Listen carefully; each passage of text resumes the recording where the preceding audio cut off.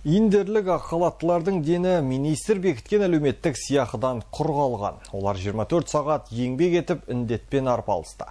Өкпесі қысылып демі тарылды. Тіпті қызметте жүріп өмірден өткені де бар. Индер аудандық ауруханасының дәрігерлері телеарнаға жан айқайын жеткізді осылай. Арғысын жоталы аймаққа сапарлатқан Гүлфәни Хамзи айтады ешқандай надбавка бұны сізге айтайын бір соқыр бес теңгені де алған жоқпыз біздер дейтін ешқандай надбавка алған жоқ біздерден айнаш қайратқызы индер аудандық ауруханасында қызмет етеді. Еңбек өтілі 16 жыл. Індет ушыққан сәтте ол да әріптестерімен бірге аянбай халық үшін тер төкті. Бірақ қазір көңілінде кірбің бар. Министрлік уәде еткен сыйақысын бермеді дейді.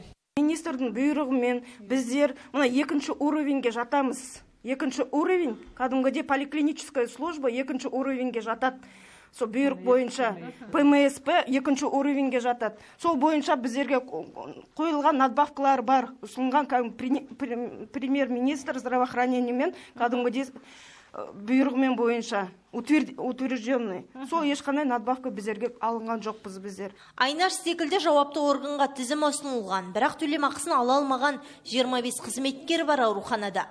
Қызмет етіп жүрген работниктеріміз по смену жүрген дежурствода жүргендер алды да қосымша мына лаборант рентген лаборанты ә, бас дәрігердің орынбасары сол біздер аға еңбеккерлер қосымша біздер ала алмай қалдық. Ә, себебі июль айында июнь айларында сіздерге июнь айында берді де июль айында сіздерге төленбейді деді. Ә, содан кейін енді біздерде жаңағы ортамызда жүрген бір санитаркамыз қайтыс болды. Бізге ол өте ауыр соққы болды. Біздер үшін коллектив үшін ұжым үшін ол кісінің анализі де положительный результат көрсетті. Индерде кесел өршіген тұста 12 маусымнан бастап 165 тұрғын ауырған. Оның 62-сі ковид ал қалған 103-нің өкпесі қысылған. Сол қысылтаяң шақта жергілікті адамдардың өкілі үміті осы аққалаттылар еді. Олар отбасы ошақ қасынан алыстап тек науқастың халін ойлады. Гиппократ антын санада жаңғыртып қарабастың қамын құнттамады. Керісінше соғыста жүргендей арпалысты індетпен тіпті жатарға орын таппай еденде тыныққан кездер де болған.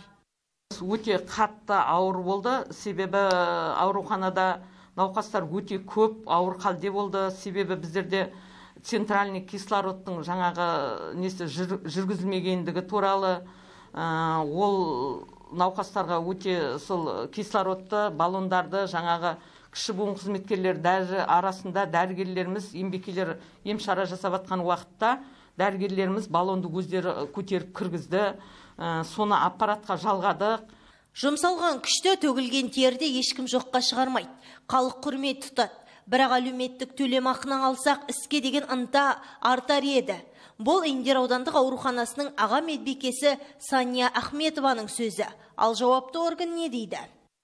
Бүгінгі күнде атырау облысы бойынша мынау коронавируспен пневмониямен жұқтырған медицина қызметкерлер арасында әкімшіліктің жанында құрылған комиссия бес рет өтілді. Бес комиссия өтті.